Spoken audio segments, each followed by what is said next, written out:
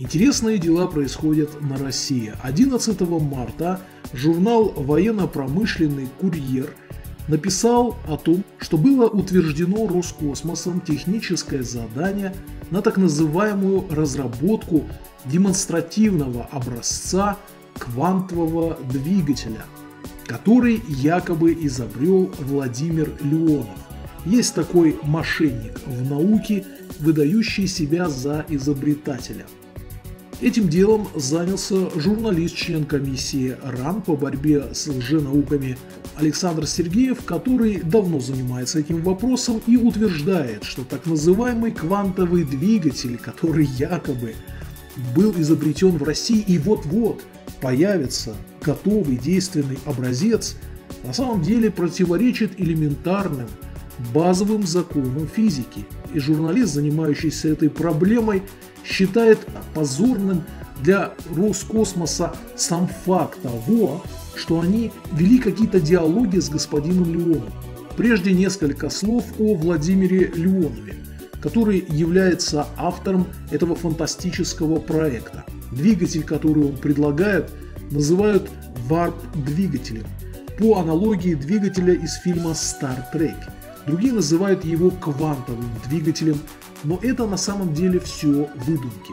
Основная особенность подобных выдумок заключается в том, что они грубо противоречат установленным, хорошо проверенным научным фактам, принципу сохранения энергии, закону сохранения импульса и так далее. Если бы такие вещи могли существовать, теоретически, это давным-давно проявлялось бы в огромном количестве физических экспериментов – на сегодняшний день можно сказать, что существующие эксперименты и теории, на них построенные, полностью исключают возможность создания подобных двигателей. Если бы они были возможны, то не работала бы вся остальная физика. Точка. НЛО – это реальные летательные аппараты в нашем небе в ближнем космосе, появление которых фиксируют и военные, и ученые – Однако до сих пор никто не мог объяснить, как они летают. Шары и диски абсолютно бесшумно появляются ниоткуда, зависают где хотят, мгновенно набирают скорость и показывают чудеса маневрирования. Но, возможно, сегодня мы как никогда близки к разгадке их тайны. Российский физик Владимир Леонов в шаге от создания суперкорабля. И вот что он рассказал нам в эксклюзивном интервью. Я сам видел летающие тарелки. Я не просто там их, э, верю в это дело, так? Но я сам несколько раз видел такие аппараты. Объяснить с точки зрения современной физики мы не можем, почему они летают. У них нет реактивных двигателей, у них нет винтов, у них нет других каких-то там таких устройств. Ну, просто висит себе аппарат, так и потом раз он полетел. На каких принципах современная наука не знает. Но эти явление как факт мы наблюдаем. Допуская идею, что в физическом вакууме нет материи, но есть поле. Многие научные теории такое предполагают, хотя пока это и не доказано. Но именно так Владимир Леонов и создал свой квантовый двигатель. И он работает. Эти кадры лабораторных испытаний летающей платформы обещают нам одну из самых громких сенсаций будущего. Это именно тесты квантового двигателя с горизонтальной тягой в 50 килограммов. Опыт наделал много шума в научном мире и не везде был принят благосклонно. На видео платформа еще не парит в воздухе. Но с тех пор прошло несколько лет, и рабочий образец превратился в аппарат с вертикальным взлетом. Сегодняшний день я имею порядка, могу назвать порядка 10 различных способов взаимодействия с вакуумным квантованным пространством, где мы можем создавать различного типа вот эти двигатели. Автор изобретения уверяет, что он победил гравитацию. Более того, сегодня Владимир Леонов разрабатывает модели шаттлов, которые доставят человека на Марс за два дня и даже вернут обратно – а еще он обещает нам летающие автомобили и решение проблем с нефтью. Я разработал технические задания на те аппараты, которые уже сейчас можно построить вот, и э, осуществить полеты, например, до Марса. с полной компенсацией невесомости. Полет до Марса будет длиться всего 42, 42 часа с полной компенсацией невесомости. Идея этого двигателя противоречит всем законам физики, законам Вселенной. Люди, которые изобретают вечные двигатели, телепортации или машины времени, были всегда.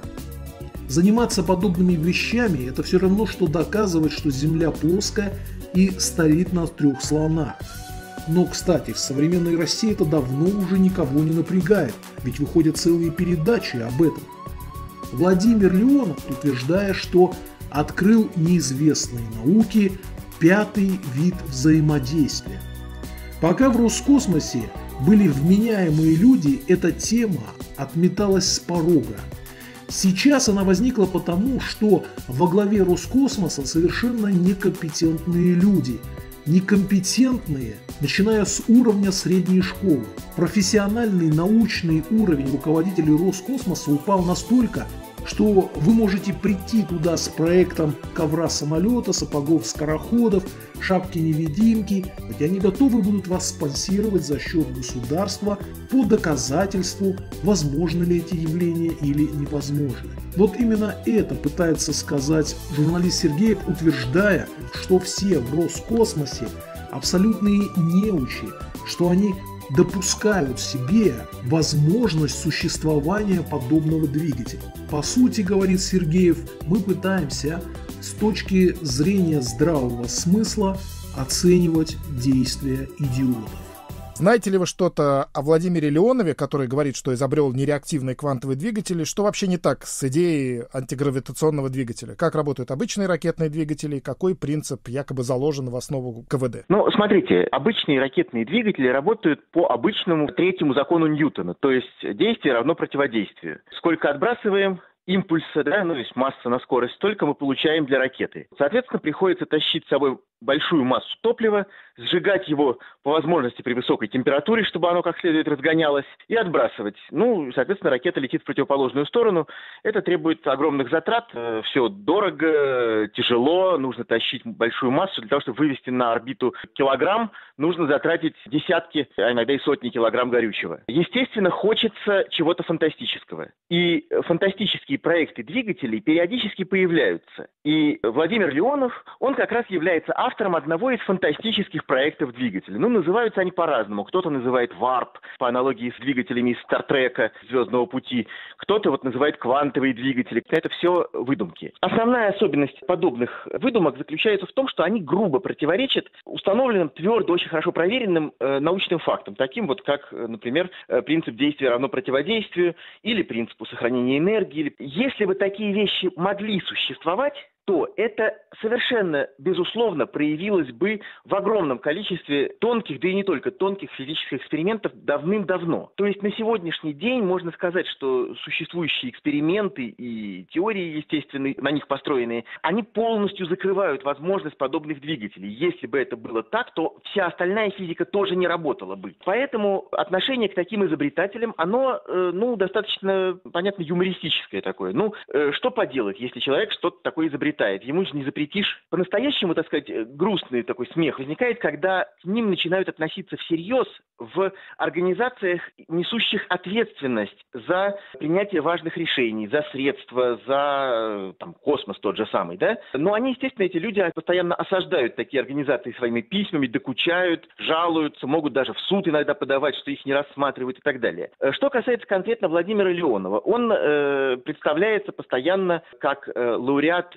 премии правительства России, большой, соответственно, ученый и изобретатель. Но если теперь копнуть, кто же он все-таки на самом деле, то выясняется вот какая интересная деталь. В 1995 году он действительно получил премию правительства России в области науки и техники в составе коллектива, который занимался разработкой и выпуском и внедрением в сельскохозяйственное производство диэлектрических сепараторов семян. То есть он агротехнический инженер. И э, в этом проекте он даже не был руководителем он был там просто одним из э, научных сотрудников, кандидат технических наук. Собственно говоря, вот это весь его бэкграунд. И он осаждает, значит, тот же Роскосмос своими письмами. И Роскосмос все их игнорировал. И он на это жаловался постоянно. И в своем блоге он на это жалуется. И вот вдруг что-то меняется. Вдруг оказывается, что к нему проявляют интерес в Роскосмосе. В прессе прошло сообщение, что они вот уже выдали деньги, утвердили тех задания на разработку квантового двигателя. Судя по всему, это некоторое оказалось преувеличение, потому что вся такая информация идет всегда не совсем надежными каналами, а там собрались люди, сторонники этого двигателя, и стали рассказывать немножко небылиц. Советник по науке заявил буквально, что да, информация эта, вот, что мы уже в, занимаемся разработкой, это не соответствует действительности, и Дмитрий Олегович Рогозин не давал такого поручения, но нами действительно сформулировано техническое задание, но не на разработку антигравитационного двигателя, а на экспериментальную проверку достоверности тех явлений, о которых заявляет автор, то есть Владимир Леонов. То есть они всерьез это восприняли в достаточной степени, чтобы сделать такое техническое задание на уровне Роскосмоса, большой корпорации. Они просто не понимают, что их не вполне адекватно рассуждающий человек, ну, в некотором смысле спамит своими выдумками фантастическими. Они на эту тему проводят испытания, готовы проводить. Они, правда, говорят, что мы знаем о и разделяем сдержанность позиции РАН. Уран не сдержанность позиции, уран категорическое отрицание. То есть это все лженаука. Но в то же время, э, говорит Блашенко, мы понимаем, что если мы научимся квантовать гравитационное поле, то, значит, будет Нобелевская премия. И вот они готовы с этим сельхознаук кандидатом вести речь и испытания какие-то. Проблема не в том, что есть такой изобретатель. Такие изобретатели всегда были и будут. Проблема в том, что, э, видимо, в Роскосмосе серьезная проблема со спам-фильтрами. Они теряют способность отличать реальную науку от э, воображаемой. И даже если они сейчас еще не утвердили тех заданий прямо на производство этого двигателя, то, что они вообще вступают в этот разговор, то, что они здесь видят предмет для обсуждения, это говорит о том, что там утрачена научная экспертиза. И то, что вообще подобный скандал возникает, это в некотором смысле ставит под вопрос профессиональный статус тех, кто этим занимается.